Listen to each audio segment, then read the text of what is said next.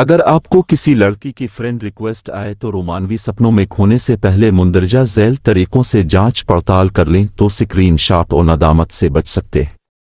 एक, एक अगर इसका नाम क्यूट प्री टावहाट to handle Barbie doll princess वगैरह से मिलता जलता हो तो समझ जाएँ कि अभी आपके मुकद्दर पर छाए तारीकी के साय नहीं छटे और फौरी फ्रेंड रिक्वेस्ट रिजेक्ट अबलाक कर दें क्योंकि निन्यानवे फ़ीसद फेक अकाउंट है लेकिन अगर इसका नाम इंसानों वाला है तो अगले स्टेप नंबर दो पर चले जाएँ। दो अब वॉल का विज़िट करें और देखें कि इसका यह अकाउंट कब बना था।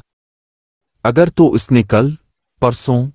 एक हफ़्ता पहले ऐसी महीने अपना यह अकाउंट बनाया है, और आपको उनबॉक्स भी भेज दिया है तो इसका ये मतलब हर गज नहीं कि आपके अंदर से निकलने वाली मकनातीसी लहरों ने इस लड़की को दुनिया के किसी दूसरे कोने से अपनी तरफ़ मुतवजे कर लिया था, बल्कि इसकी सिर्फ़ और सिर्फ़ एक ही वजह हो सकती है कि आ तो आपका कोई दोस्त आपके साथ कोई गेम कर रहा है, या फिर कोई गफवरा आपके स्क्रीन। शार्ट बनाने या अकाउंट उड़ाने के दर पे है, लिहाजा इसी स्टेप पर अपनी तफ्तीश खत्म कर दें, लेकिन अगर उसकी प्रोफ़ाइल ताज़ा ताज़ा नहीं, बल्कि एक साल से। पुरानी है तो फिर आप अपनी तफ्तीश जारी रखते हुए स्टेप नंबर तीन पर अमल करें। तीन, अब आप लड़की की वॉल पर उसके अबाउट सेक्शन का जायजा लें। अगर तो उसने अपनी इंफॉर्मेशन में अपनी तालीम LUMS Kinnaird college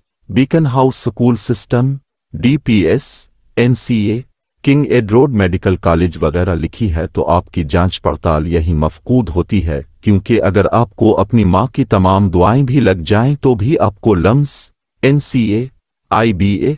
डॉक्टर आ इंजीनियर लड़की खुद से कभी मैसेज करके दोस्ती की ख्वाहिश का इजहार नहीं करने वाली लेकिन अगर उसने कुछ नहीं लिखा बल्कि किसी सरकारी स्कूल आ कॉलेज से एफ़ ए अभी ए किया हो तो फिर अब की उम्मीद अभी भी कायम है।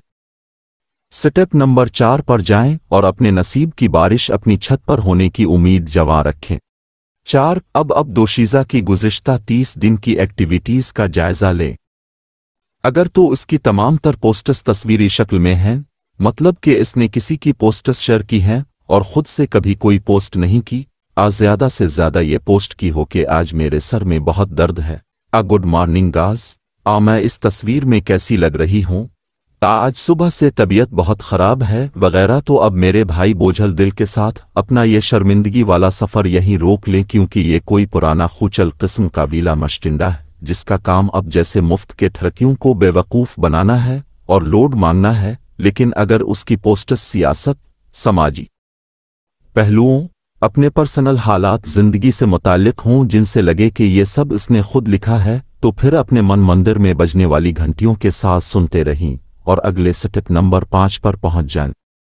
पाँच, अब अपने इस लड़की की प्रोफ़ाइल फ़ोटो पर मौजूद कमेंट्स का बगौर जायजा लेना है। अगर तो अक्सरियती कमेंट्स अब जैसे वाजिबी शक्ल व सूरत के हर उम्र के टिरुक हजरात कर रहे हैं, जिनमें अनपढ़ वीलों व अरब ममालिक में लेबर करने वाले भी शामिल तो फिर ए मेरे बदकिस्मत दोस्त, तुम्हें इस दफ़ा भी हमेशा की तरह मोहब्बत में नाकामी का सामना ही करना पड़ा। खामोशी से इसकी वाल से वापस चले जाओ और अच्छे वक्त का इंतज़ार करो। लेकिन अगर कमेंट्स में महजब किस्म के लोग नज़र आए, जिनमें एक आध इसका फैमिली मेंबर भी शामिल हो तो फिर हौसला जमा रखें। हो सकता है कि अल्लाह ने आपकी सुन ली हो। स्टेप नंबर छः पर तशरीफ़ ले, जीम। अब आप इस लड़की की फ्रेंड लिस्ट अगर पब्लिक है या प्रोफ़ाइल कमेंट्स में मौजूद अपनी उम्र के लड़कों से शक्ल सूरत क्वालिफिकेशन और नौकरी के हिसाब से अपने साथ मवाजना करें। यकीनन वो सब लोग शक्ल सूरत में अब से बेहतर और तालीम व स्टेटस के एतबार से अब से ऊपर होंगे लेकिन घबराना नहीं बल्कि बाथरूम में जाकर अपने मुँह पर ठंडे पानी के छींटे मारें। तोलिया से मुन्ह रगड़ रगड़ कर साफ़ करें और फिर शीशे के सामने खड़े होकर अपने अब से सवाल करें कि इस लड़की को क्या पागल कुत्ते ने काटा था जो तुमसे बेहतर लोगों की मौजूदगी में तुम्हारे पीछे पड़ गए। आपकी तफ्तीश यहीं खत्म हो गई, लेकिन अगर शोमई किस्मत से इस लड़की की लिस्ट में अब से भी ज़्यादा शोखी और नाकाम लोग पाए जाते हैं तो फिर अभी मुझमें कहीं बाकी थोड़ी सी है ज़िंदगी गाएँ क्योंकि अब मेरी तरह उन चंद खुश नसीबों में से एक है, जिससे एक हकीकी दोशीजा ने खुद दोस्ती की ख्वाहिश का इजहार किया है।